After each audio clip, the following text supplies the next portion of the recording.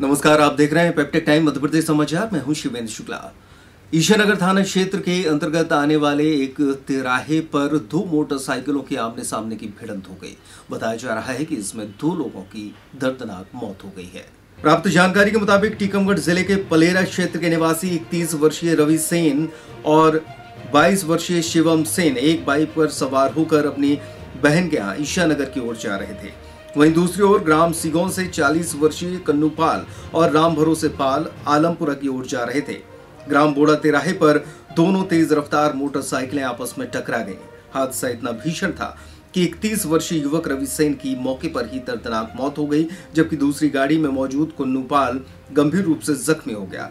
घायल कुन्नूपाल को स्थानीय लोगों ने बचाने के प्रयास किए, लेकिन वो भी चौका ग्राम पहुँचते पहुँचते दम तोड़ गया। इस हादसे में शिवम सेन और राम भरोसे पाल जख्मी हैं जिन्हें जिला अस्पताल में भर्ती कराया गया है। हमारा है भतीजा।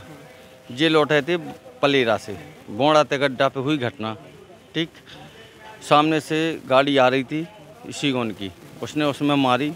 एक हुआ स्पॉट पे ख़त्म। एक हुआ परा चौकी पे इस पर। हाँ। भतीजे के कहाँ पर चोट है सिर में। फिर उसके ले गए आप लोग? हम लोग ले गए पहले अपने हॉस्पिटल में। सरकारी हॉस्पिटल में ईशानगर। उसके बाद लाए छतरपुर।